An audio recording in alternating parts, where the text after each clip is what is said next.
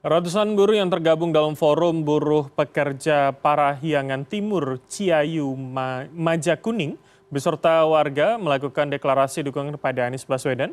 Mereka berharap Anies dapat mensejahterakan para buruh. Deklarasi dilaksanakan di Gor Evander Desa Andir, Kecamatan Jatiwangi, Majalengka, Jawa Barat pada Jumat siang. Setidaknya ratusan masa ikut dalam deklarasi yang dilakukan. Salah seorang buruh mengungkapkan bahwa Anies sendiri merupakan bapak buruh. Anies dipercaya akan memperhatikan para buruh yang ada di daerah seperti kawasan Majalengka ini. Upaya yang diterima pekerja di Majalengka tergolong yang paling rendah. Anies dinilai berbeda dengan tokoh-tokoh lain yang mendukung Omnibus Law.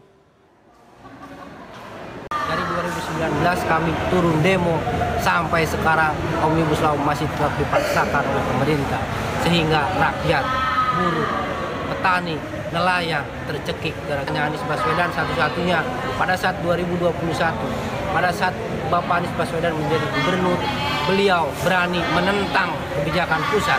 Bahkan beliau sampai digugat oleh Apindo dan beliau menghadapi itu dengan senyum dan beliau bukan karena beliau apa? Karena beliau betul-betul mengedepankan tentang keadilan sosial bagi seluruh rakyat